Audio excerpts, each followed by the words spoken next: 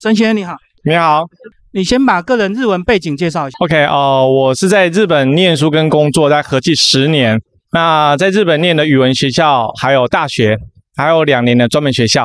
那之后在所谓的 CNC 的日本公司上班，然后大概前后十年之后才回到台湾继续做 CNC 的业务。那在一个因缘际会之下，我听了我们董事长的建议，在公司里面做日文的教学，那因此而开出了哦我日文的一个事业的一个开端。所以你的日文流利，自然就会做日文教学吗？还是有经过一些什么学习？其实没有，因为我是业务端，那我只把我的业务的能力放入在教学里面。那因为业务擅长说服嘛，所以我说服我的学生日文很简单。其实它是一个知难行易的一个概念，告诉你它很容易。对我说的知难行易这是概念之外，它是一个很难的一件事情，可是我让你相信我的话术，它很容易学会。你就是洗脑大家日文很容易学，是的，没有错，然后就进入了。对，没有错。可是很多人真的对日文会觉得好像很简单，是因为很多汉字啊。对，那是看得懂，可是你开口讲很难。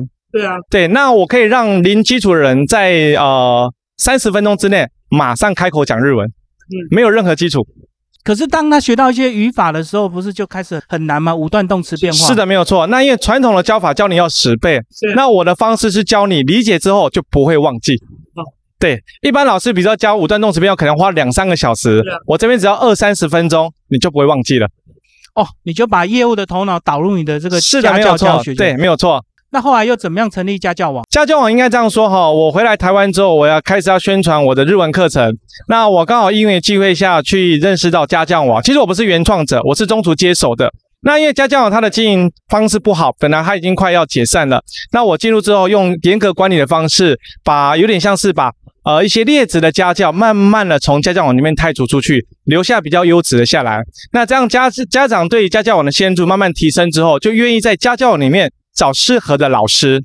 因为家教这个行业是没有受过法律的一个保障，呃，教了书之后收不到钱，跟去上的课也没有费用，或者是老师来教书的时候品质不好，所以我就对家教网做这样一个管理之后，慢慢的把它的品质做出来。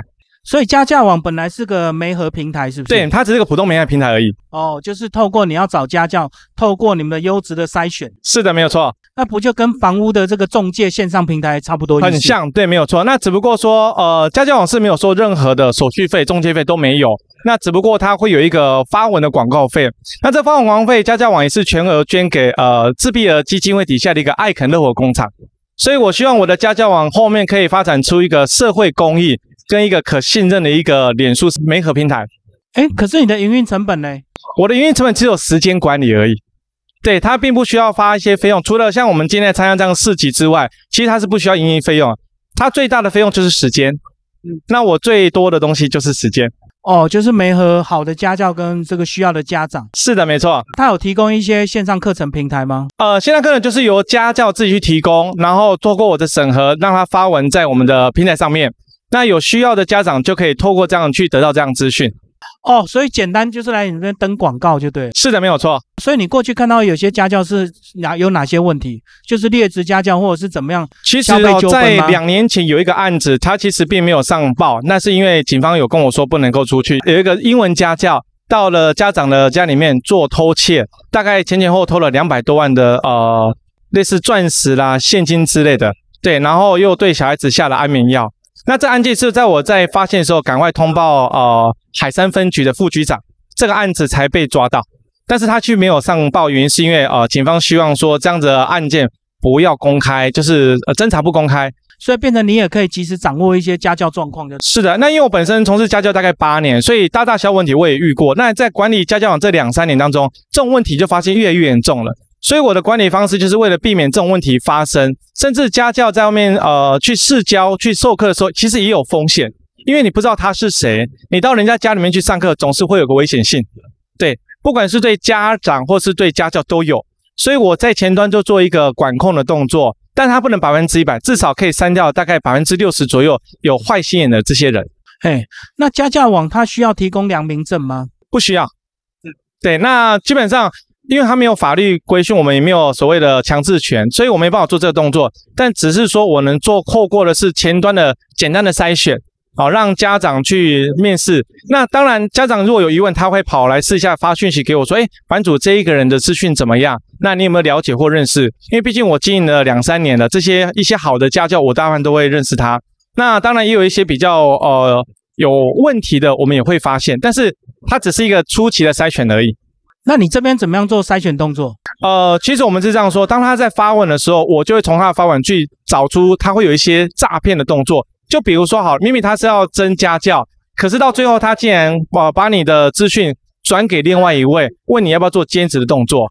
那这样子，其实你可以看到同样的发文会有在不同人的 ID 上出现，这个就有问题了。所以我在前端就可以把文挡下来。哦，这个是指诈骗的这个部分。是的，没有错。那如果家教的人品，你只你是有透过面试或者是怎么？人品是没办法，因为我每天所加入的人是上百人甚至上千人，所以我并没有办法去面试，但我只能做初步的评估而已。所以就是资料的书面审核，就是的，没有错。那能够协助的是说，家长发现遇到问题或家教问题，他反映结果的时候，我会提供一些法律上的咨询，甚至协助而已。那如果说他有发生一些所刑事或民事诉讼，我只能提供相关的建议而已。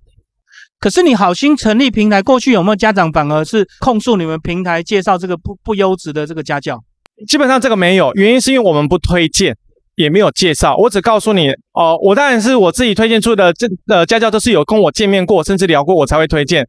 那实际上没有交流过，我就不会了。所以目前来讲还没有发生这种事情，但是会发生。家教网上面所找到的家教确实是有问题的。哦，所以就是单纯的广告刊登就是的，没错。如果说真的需要你个人推荐，就是你有实际接触认识，是的，没有错，你才会做这个动作。对，我比如说我有跟他交流过好几次，甚至我们的理念是相同的。那这样子的家教，书本上的平呃人格的特质，我是认为是 OK 的，因为毕竟我是做业务的，我做十几年业务，大概聊了十分钟，呃，人品我可以掌握到一点点左右，就可以观察面相，就是的，没有错。跟你交谈当中，我就知道你的个性大概属于哪种属性的。所以其实家教跟那个费用一样，都有一定的风险，因为毕竟你要进到人家家里。是的，没错。对方也会有风险，你也会有风险。是的，所以我跟家教跟家长们就说，我们在面试家教，通常都是在公开的场合。再来，小孩子我们不要交给人家教，一定要参与，因为小孩子是我们自己的，家教只是某个时段帮你做一个监督，实际上家长是要参与的。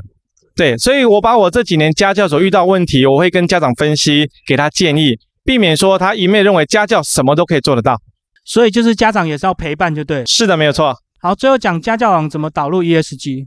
家教网是这样子哦，因为我们呃，我现在目前主要家长是希望能够推线上课程。那因为像以前我们做家教是一对一，要移动，甚至要租场地，还要再比如说呃去花费一些不必要的支出。那家教网现在我希望能够推上线上的课程，因为线上课程的话就变可以变成。无眼佛镜，它没有限制，那只要一部电脑，只要一个麦克风跟摄影机就可以办到了。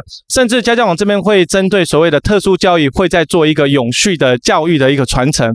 因为像我自己的小孩子有一些特殊状况，我需要一个特殊老师来，所以特殊有特殊教育背景老师来到家教网的时候，我会特别帮他做一个审核，然后帮他媒合给需要的一个家长。